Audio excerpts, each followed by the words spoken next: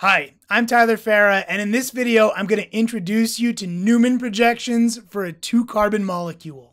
A Newman projection is a way of representing a molecule in more of a, a 3D perspective. And this is really important because organic chemistry is is all about being able to visualize molecules in three dimensional space. And so we want as many tools as we can get to help us. Now, there's this really complex set of directions for drawing a Newman projection. We'll come back to that at the end as review because the, the best way to learn Newman projections is just to see them. But what I want you to focus in on right now Right up here at the top, Newman projections look down a single carbon-carbon bond from a front to back view. Now, this might be new to you. So what I mean is this, right? What we have here is our normal representation of a molecule from the side view. It's got a little bit of 3D perspective with the wedges and dashes, so that's pretty cool already.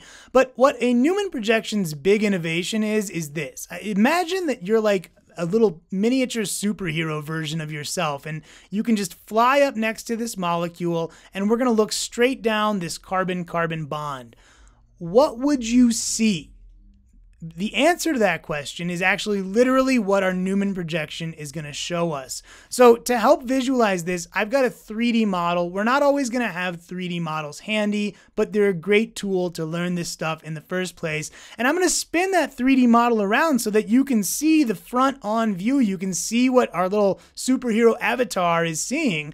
But I want to do an exercise with you while we do that. Imagine that this is your right hand. Well, it, I mean, it is your right hand. It's on the right. And this over here on the left is your left hand. And I want you to imagine that with your right hand, you're actually grasping onto this chlorine atom. And similarly, with your left hand, you're actually grabbing onto this hydrogen atom. And I mean, literally reach out in space in front of you and imagine that you're grabbing onto those atoms. I'm, I'm doing it here as I record this video. I hope you're reaching out in front of you as you are, as you're watching it wherever you are. And what I want you to do is just with me, imagine that we are just going to start tugging on those atoms and just pull this into its correct orientation, this front on orientation that we're seeing here, right? So what do we see?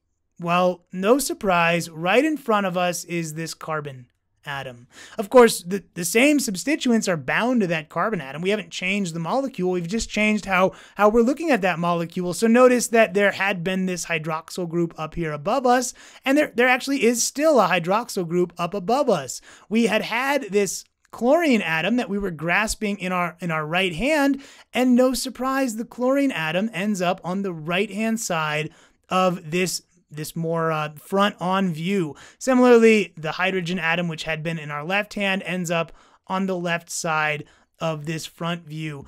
What we're seeing is actually literally a Newman projection. This is exactly what the Newman projection is going to end up looking like. It's just a little bit more technologically advanced. So to draw a Newman projection, we, we basically just want to capture this picture in more of like a pen and paper format. So let's do that right now, right? The first thing that we see as we look down this carbon-carbon bond is this big old carbon atom staring us straight in the face. So for our Newman projection, we draw a circle representing that carbon atom that's right in front of us. Next, we observe that there are three substituents on three bonds sticking off almost like spokes on a wheel. And so we draw these spokes on a wheel into our Newman projection. Of course, from where we're standing, floating in front of this molecule, we can see this hydroxyl group up here. So we go ahead and label it. Same thing for the chlorine over here and, and the hydrogen on the left hand side. And now we reach one of the potential difficulties of the Newman projection, and that is this back carbon, this carbon that's further away from us. The problem is, and you can see this in our 3D model, we can't actually see that second carbon in the bond. It's it, it it's kind of like if you're standing in front of your house, you can't see the back of your house because the back of your house is blocked by the front of your house. Well, it's the same idea here, right? As we're looking down this carbon-carbon bond, the front carbon is blocking the back carbon. So what we have to do as as as uh, as organic chemistry students, as a, as burgeoning organic chemists, we just have to remember that there is a second carbon back there We just can't see it. But what we can see are the substituents that are bound onto that carbon. And again, if we look at our at our 3D model, you can see that there's actually a fluorine atom up here in the top left. And we can see the hydrogen atom in the top right and the, the bromine atom, which uh, it had been below us before we spun the molecule around and is still below us right now. That's it. We've just drawn our first Newman projection. I promised that we would come back to this uh, very detailed set of instructions at the end as review, and we can see it's not so intimidating now, right? We're going to start with a circle. That circle represents the carbon that we're looking at. We draw the three bonds coming off of that to the three substituents that we can see, and then we go ahead and actually label those substituents. We have to remember that the back carbon is, is not visible to us. It's obscured from view, but we can draw the three substituents bound to that back carbon. And when we do that, we have completed our Newman projection. Thanks for watching.